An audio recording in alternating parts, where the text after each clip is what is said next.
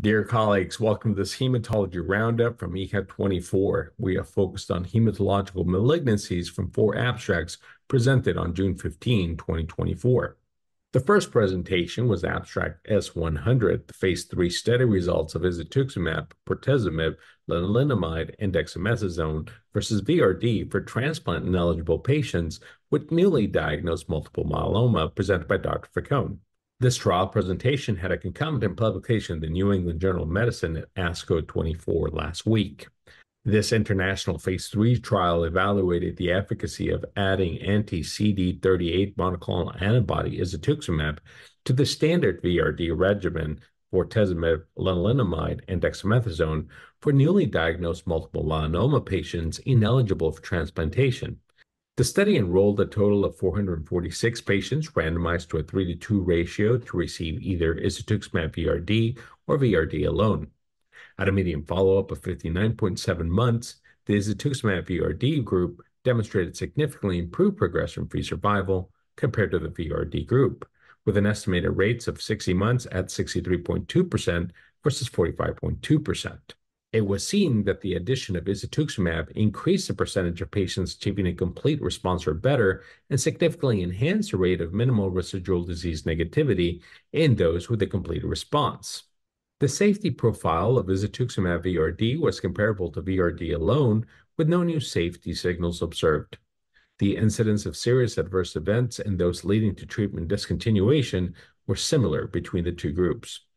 These findings suggest that isatuximab VRD represents a more effective initial therapy option for patients aged 18 to 80 with newly diagnosed multiple myeloma who are ineligible for transplantation, potentially setting a new standard of care in this patient population.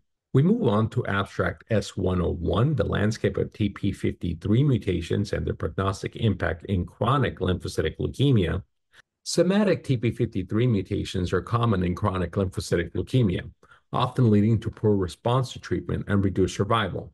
This study aimed to detail the landscape of TP53 mutations in CLL and assess their prognostic impact across various clinical trials, considering genetic risk factors and treatment types.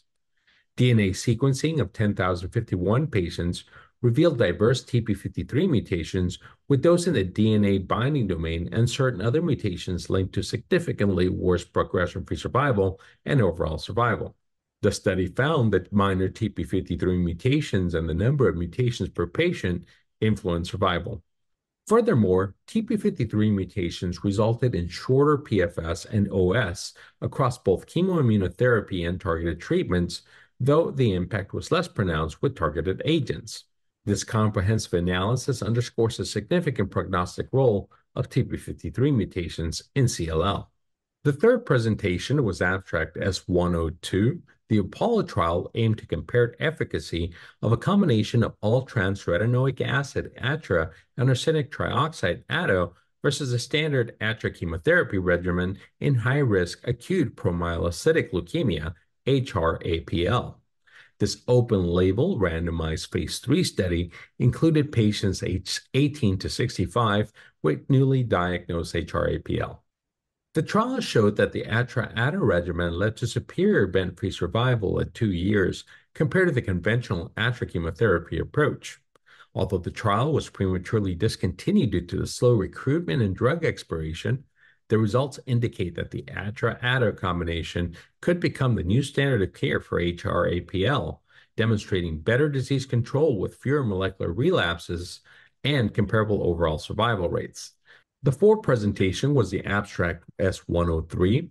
Asciminib provides superior efficacy and excellent safety and tolerability versus tyrosine kinase inhibitors in newly diagnosed chronic myeloid leukemia in the pivotal ASC4 FIRST study.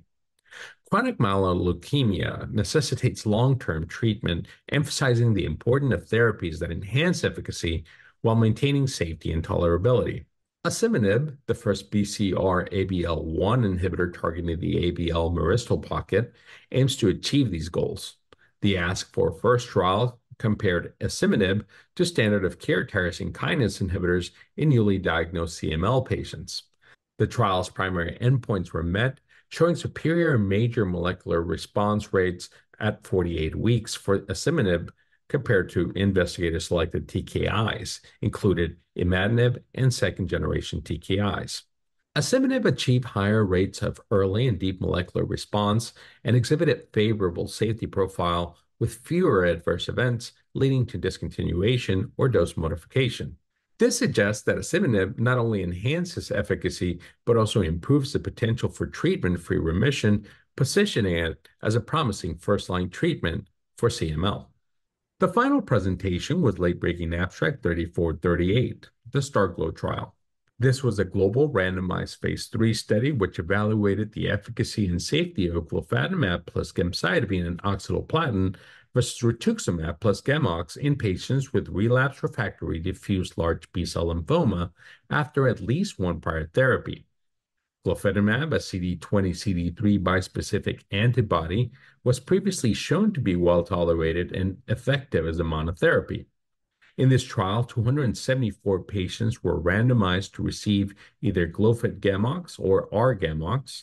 The primary endpoint overall survival showed a significant benefit for glofitamab GemOx with a hazard ratio of 0.59 and median OS not reached compared to nine months for R-GemOx.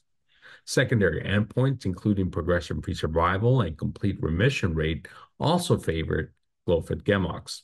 After a median follow-up of 20.7 months, glofitamab GemOx continued to show superior outcomes in OS, PFS, and CR rates. Adverse events were more common in the glofitamab GemOx group but were consistent with known risks. Glofitamab is the first CD20/CD3 bispecific antibody to demonstrate a survival benefit in randomized phase III trial for diffuse large B-cell lymphoma.